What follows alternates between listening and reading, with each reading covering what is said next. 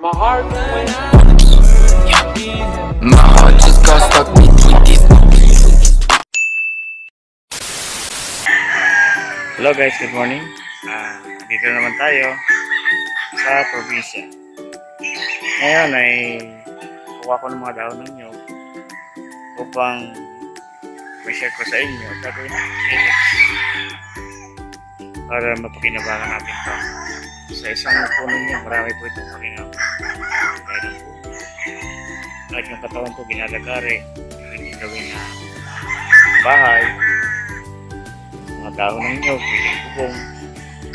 Pero ngayon, ang share ko po sa inyo ay ang ano, paggawa ng pellets na pwede po natin igagawa. So, bibili lang po tayo ng mga ah, machine para makinabangan po natin kahit po ng uh, hammer mill at saka pelletizer para magawa natin siyang pellets. So guys, ah sige, kuha na tayo ng dahon. Mamaya makapag-start na tayo. At nga pala po, bago po ako patuloy, uh, sana po tuloy po kayo suporta sa channel ko. Uh, sana kayo magsawa sa pagsuporta po at mm, kung kayo po ay bago po sa channel ko, paki-support po at paki-subscribe, paki-like na rin po at paki-share. Maraming pong salamat.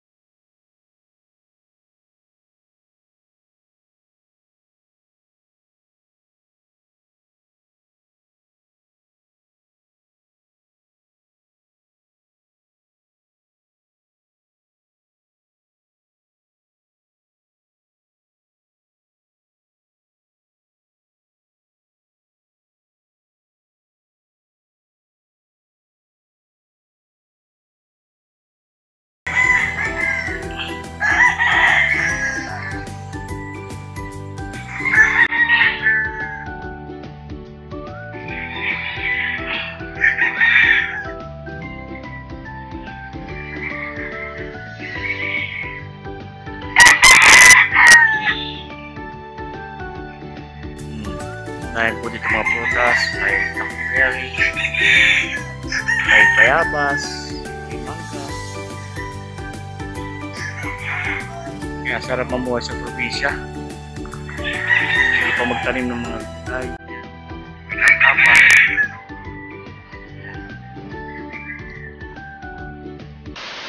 Ayan, oh, may bunga na rin yung ano, latundan, tordan, kung tawagin ng iba.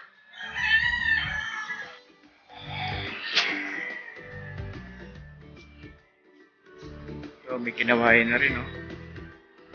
Pa isa, oh.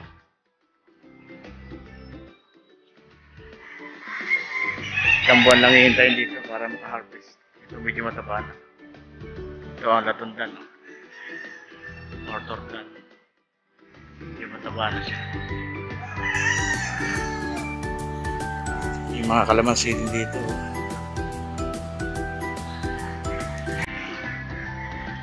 Mga bunga na.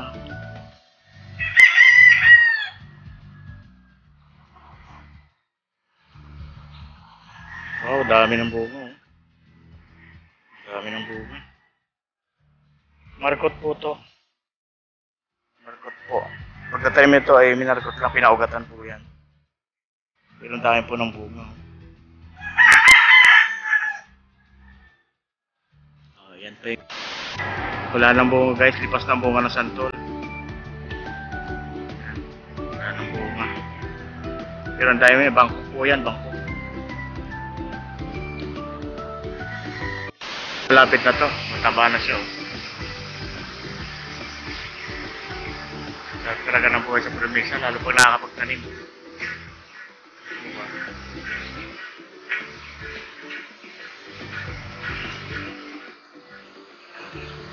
Isa pa rin po to.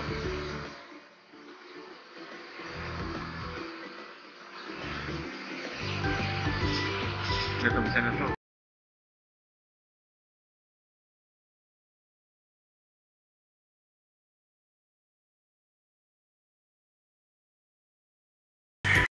So guys, ito yung ano, ah, hammer mill. Medyo tinasalang. Tapos ito yung loob, papakita ko lang sa inyo. Yan.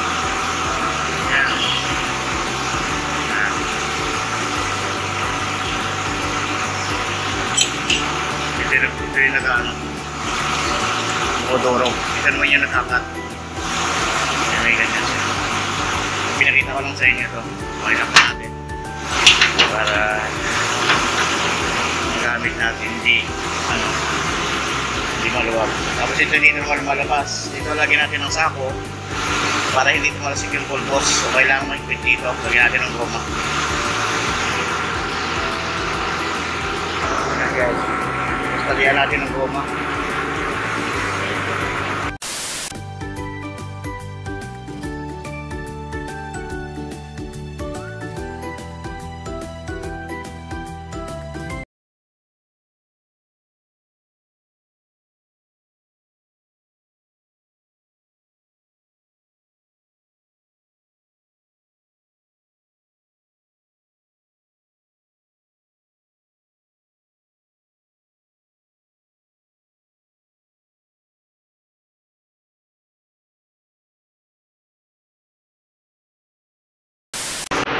Ayan guys, so isang kilo yan.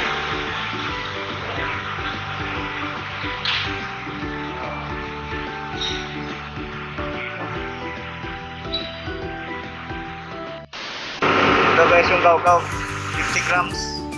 Yeah, halo natin dito sa 1 kilo na pulbos ng daon ng nyug.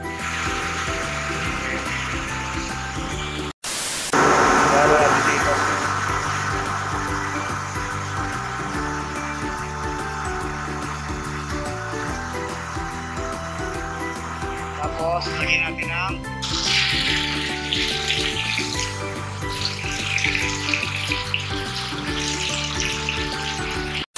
dito yung gaw-gaw para mas madaling matunaw. Okay.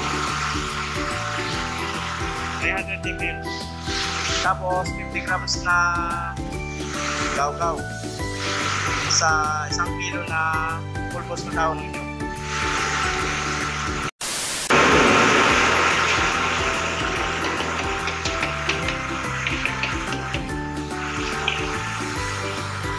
Natin.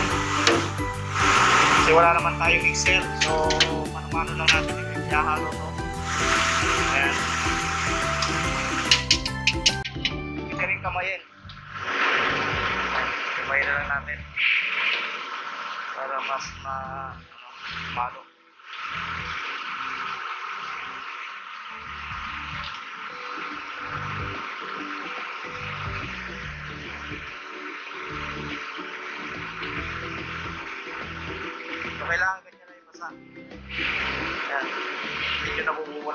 Konti. Pag hinawakan, ayan o. Pag pinigaan yan o. So parang bumubuo siya. Okay na yan. Okay na yung pagpipisa na yan. Pero pag sariwa naman ang dahon, so medyo mababawas tayo ng tubig. Kasi ano yan eh, may tubig na rin yung sariwang dahon. Medyo medyo tutuyo, kaya medyo marami-rami ang tubig natin. So kaya depende pa rin. Pero yung gaw-gaw, 50 grams. Nasa sa inyo na rin yan kung mas dadagdagan pa ninyo para mas maganda pa yung quality na gusto ninyo. Uh, kayo na rin yung bahalang mag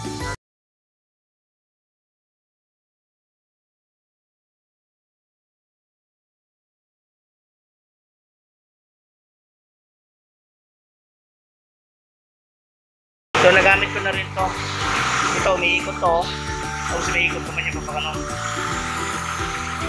Ito naman umiikot pa rin. Papaganon, ganyan. Okay. Try natin. Para makita ninyo yung loob. So yun ang motor niya. Yan.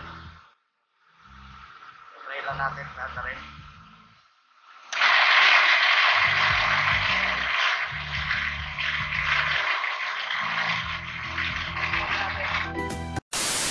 Guys, haluan pa natin ng ano, use oil. Yung mga pinipalitan sa mga makina. Para mas madulas. Ayan.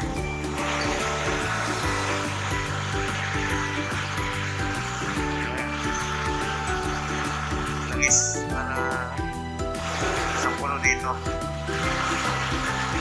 Para mas madulas.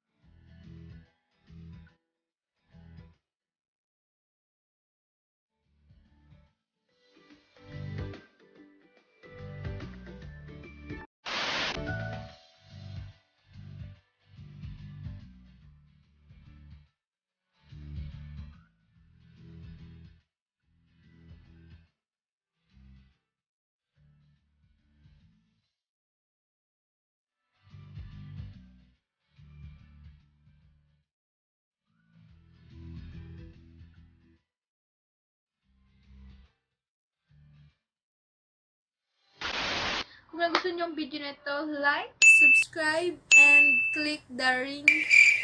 Click the notification bell or uh, Yeah. bell icon. Diba ba? Yeah. Two times para ma-notified po kayo. Yes. Sa mga susunod namin gagawin na videos. Thank you. Bye! Bye-bye.